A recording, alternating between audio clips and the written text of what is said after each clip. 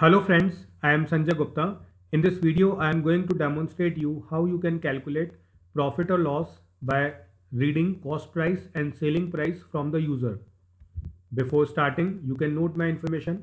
You can visit or subscribe my YouTube channel through the link youtube.com slash Sanjay Gupta underscore tech school. You can download my programming app that is TechImage which is available on Google Play.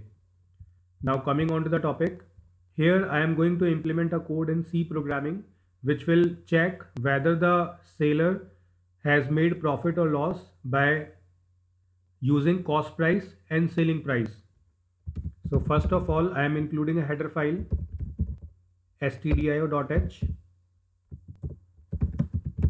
then inside main function first I am declaring variables CP for cost price SP for selling price then printf slash n enter cost price and selling price. So this message will be displayed on console. Then with the help of scanf I am going to read these two cost price and selling prices from the user. So for that purpose two format specifiers percent %f percent %f are used and then ampersand cp ampersand sp so cost price will be stored inside cp and selling price will be stored inside sp variable. Now i am going to compare sp with cp so SP is representing selling, selling price and CP is representing cost price. So if this condition is true, that is SP is greater than CP, then seller is uh, making profit. So profit equals to percent D and SP minus CP. So with this printf statement, profit equals to will be displayed and this percent %f, sorry, percent %f will be replaced uh, by the difference between SP minus CP. So selling price is greater. That's why seller is making prop seller is making profit. So profit amount will be displayed with the help of this printf statement. Now else if CP is greater than SP.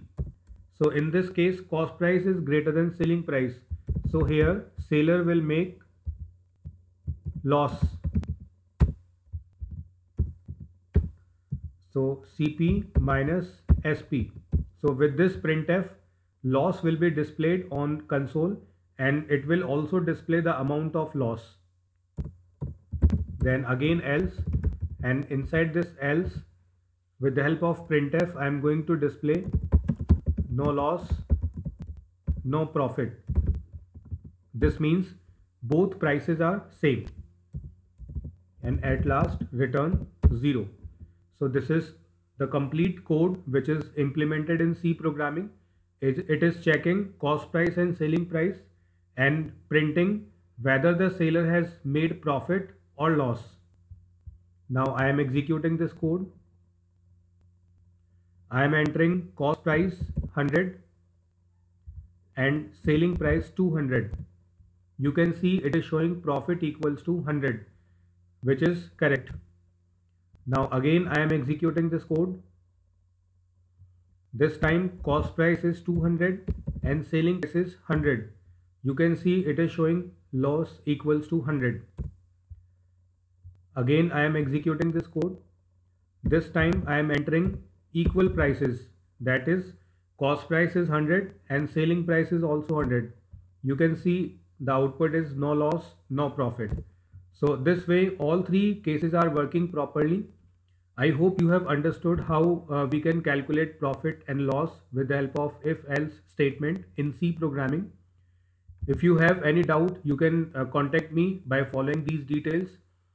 You can uh, watch my uh, various programming related videos and tutorials by uh, this YouTube channel that is youtube.com slash Sanjay Gupta underscore tech school. You can use this URL for watching my programming related videos. Thank you for watching this video.